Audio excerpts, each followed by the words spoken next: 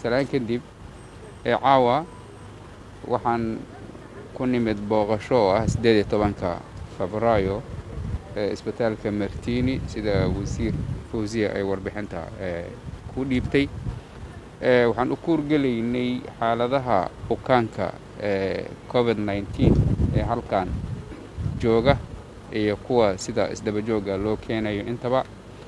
Runtii waa arrin naxdin leh marka aad timaado isbitaalka aa aragtid namber fara badan oo qaar yaalla qaar hadda la keenayo qaar soo socda kala cararka xaaladahaas kacsan oo runtii qofkii isbitaalka aan joogin oo magaalada iska jooga oo u moodayo xaaladda inay iska caadi tahay. Laakiin inaan xaalku caadi yahayn uu arki karo marka uu yimaado isbitaalka. Marka bulshada soomaaliyeed waxaan ugu baaqayaa inay aad iyo aad u feejignaadaan talooyinkii caafimaadka ee laga bixin jiray cudurkan sida afka sida haddaba anaga uu noogu xiran yahay gacmaha oo si joogto ah loo dhaqdo iyo dhammaan talooyinka hay'adaha caafimaadku ay bixiyaan ee ku saabsan ka hortagga cudurkan isaga.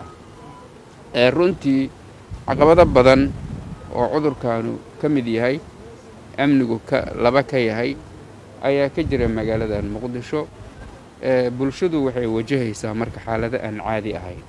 Xaaladahaas aan caadiga ahayn darteed waxaan ku talinay kuna talinaynaa kuna celcelinaynaa in la joogteeyo kala fogaanshaha in isu soo baxyada la joojiyo oo aan leesu imaanin.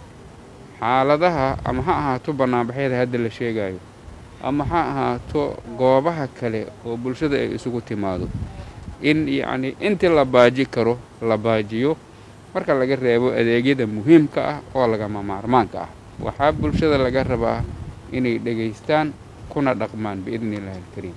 Runtii ee qofkaaga muwaadinka ah ee waddankiisii jooga inuu u dhinto amni darro iyo inuu u dhinto caafimaad darro waa isla dhimashadii.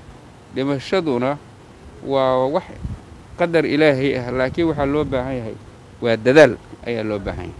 Marka bulshada soomaaliyeed dadaalkaas ayaa laga rabaa goobaha isu imaatinada inaan leesugu imaan.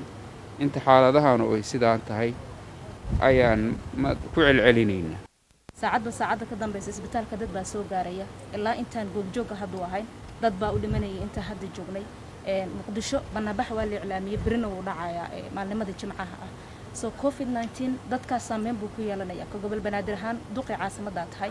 Maxaa tallaabo ama sharci oo idinkaga degan oo dadkaas ku xakameyn kartaa mise waa wax idinka gacan sarreeya?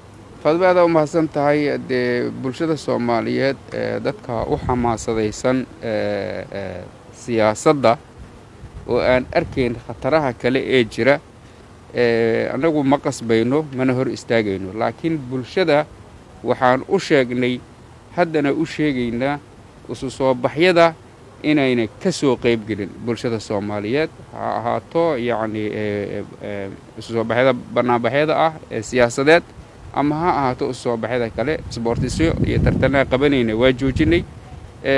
Yacnii wacyigelintii iskuullada iyo jaamacadahana waa midda hadda aan u ballanno aan qaban doono sabtid haddii ale